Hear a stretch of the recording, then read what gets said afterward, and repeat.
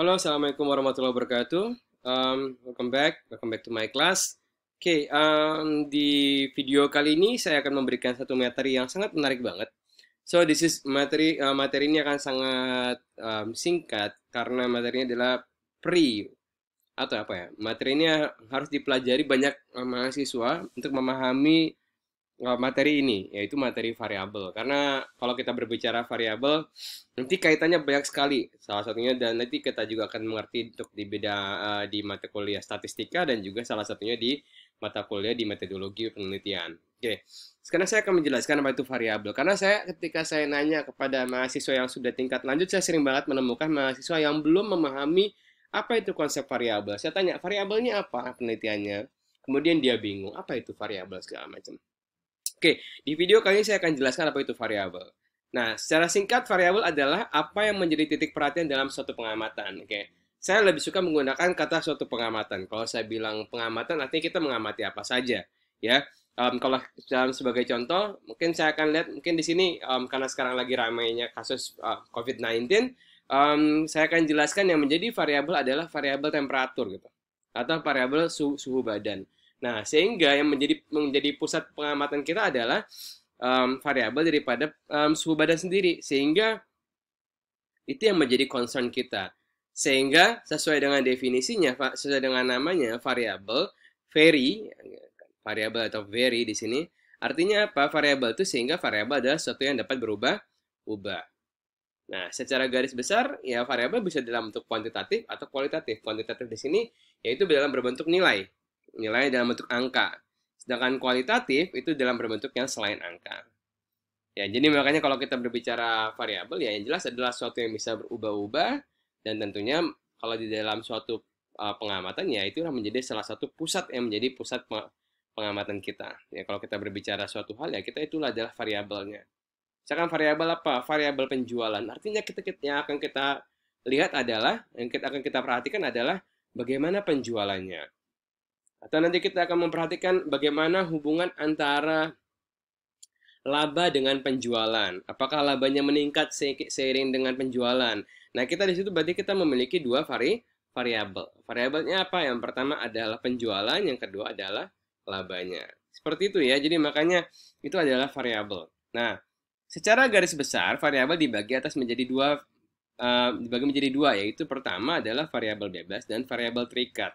Nah ini yang terkadang mahasiswa suka kebolak-balik. Bahkan nggak tahu. Saya, saya suka nanya variabel bebasnya apa, variabel terikatnya apa. Nah, nah di sini kalau saya bilang lihat di bawah di sini variabel bebas sama dengan variabel independen atau variabel input. Nah di sini ya saya bilang makanya. Nah ada variabel bebas, ada variabel terikat. Yang namanya bebas artinya apa? Nilainya bebas.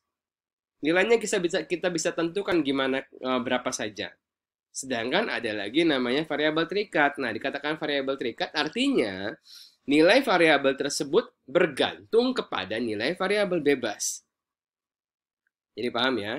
Jadi ada variabel bebas yang nilainya bisa kita tentukan berapa saja, kemudian ada lagi variabel terikat. Nah, seperti tadi pada kasus tadi, makanya saya bilang, ketika saya bilang, oke lah, saya, um, saya lupakan dulu, kita akan masuk ke contoh di sini. Nah, di sini ada sebuah persamaan, Y sama dengan X plus 1. Nah, nah kita di sini lihat. Di sini ada input, ada output. Kita lihat di sini. Bagian mana yang disebut sebagai input dan bagaimana yang disebut sebagai output. Nah, kita bisa lihat di sini Y adalah output. Kita sepakat ya, Y adalah output. Maka disebut dengan Y sama dengan atau Y adalah Y adalah X plus 1. Ya.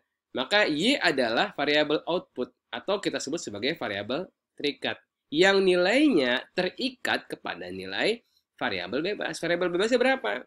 Variabel bebasnya adalah X. Ya, sehingga nilai Y akan terikat kepada nilai X. Nah, jadi nah, satu ini apa? Satu adalah konstanta. Ya, misal kalau seandainya variabel bebasnya adalah 5 atau X-nya sama dengan 5, maka nilai Y-nya adalah 5 plus 1. Sehingga Y adalah 6. Nah, di sini maka kita sebut X sebagai variabel bebas yang memiliki nilainya bebas banget, berapapun itu. Dan kemudian ada variabel Y, Y adalah variabel terikat atau variabel output. Oke, contoh lainnya. Sama kayak kasus tadi saya bilang, bagaimana kita menghubungkan antara variabel penjualan dengan variabel laba. Penting banget kita uh, melakukan konsinyasi atau kesepakatan terlebih dahulu. Apa yang akan kita lihat? Kita boleh menentukan suatu um, penentuan yang mana variabel bebas, yang mana variabel ter uh, terikat, itu dengan menggunakan logik. Simpel aja ya. Kita lihat di sini. Kalau kita berbicara penjualan dengan apa? Kita dengan berbicara laba, Mana yang kita sebut sebagai input, mana yang kita sebut sebagai output. Oke, coba pikirin dulu. Kita punya variabel penjualan dan kita punya variabel laba. Coba pikirkan 10 detik. Yang mana yang kita sebut sebagai variabel bebas atau variabel input dan yang mana yang kita sebut sebagai variabel terikat atau kita sebut sebagai variabel output. Sudah dapat? Sudah dapat? Oke. Nah, maka kalau kita simpulkan maka yang kita sebut sebagai variabel bebas adalah variabel penjualan. Sedangkan variabel terikatnya adalah laba.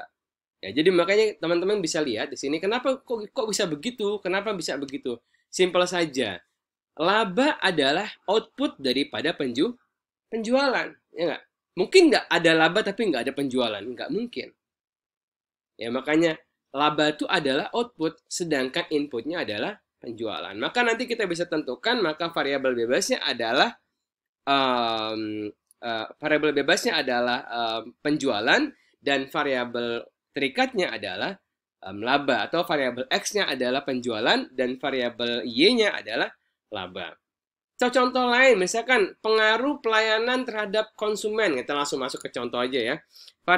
Pengaruh pelayanan terhadap kepuasan konsumen. Perhatikan, di sini ada pelayanan dan ada kepuasan. Kita coba pikirkan, mana yang kira-kira kita sebut sebagai variabel bebas dan mana yang kita sebut sebagai variabel terikat, mana yang variabel X dan mana yang variabel Y. Coba perhatikan baik-baik. Yang mana yang kira-kira menjadi output, pelayanankah atau kepuasan? Kita tinggal lihat. Mana yang terjadi? Yang mana yang harusnya terjadi terlebih dahulu? Inputnya apa? Yang terjadi duluan kepuasankah atau pelayanan dulu? secara kita kalau logika secara logik ya kalau kita berbicara dua hal tersebut ya jelas tentunya pasti ada pelayanan dulu baru ada namanya kepu kepuasan sehingga variabel x-nya adalah pelayanan dan variabel y-nya adalah kepuasan ya so this is very tricky ya jadi makanya banyak uh, mahasiswa yang masih suka kebalik-balik yang namanya variabel bebas dan variabel terikat So, so this is very important. Makanya kenapa saya buat di video terpisah sendiri. Karena teman-teman harus benar-benar memahami konsep ini terlebih dahulu sebelum mempelajari konsep yang lainnya. Karena ini banyak banget ya. Nanti kalau teman-teman akan belajar variabel ini, kalau sudah memahami variabel ini, nanti teman-teman akan bisa mempelajari materi berikutnya. Seperti nanti kita akan belajar bagaimana itu tentang korelasi. Dan juga kita akan belajar nanti ke depannya bagaimana nanti penerapannya pada bagian regresi.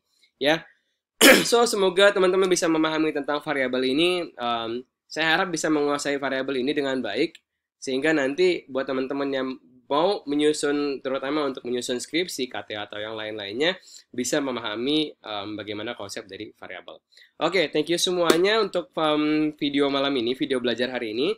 Jangan lupa klik like, comment, dan subscribe. Nah, nanti saya akan um, jelaskan lagi untuk uh, materi berikutnya di vlog berikutnya. Sampai jumpa di vlog berikutnya. Bye-bye.